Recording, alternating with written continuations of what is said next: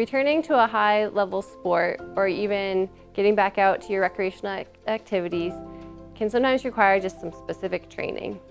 Once you get your strength back and your joints are moving well and your muscles are moving well, your body still has to learn how it moved before or even get better than it moved before. Sometimes this is just looking at gait training, looking at how your movement is and your walking pattern so that you're not compensating and developing other issues down the road.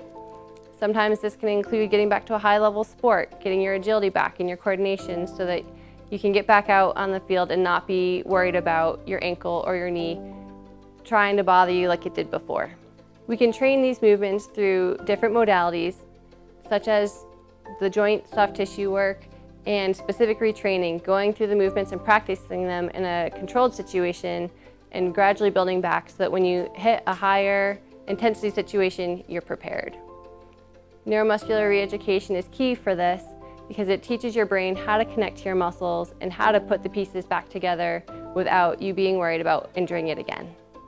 One of our goals at Ascend Physical Therapy is to return you to your highest level of function and get you back to your goals. Whether this is a specific sport, getting out for your weekend walks, or returning to your smooth running efficiency that you had before. We can look at your gait on the treadmill and smooth out any kinks so that you get back to your fluid motion.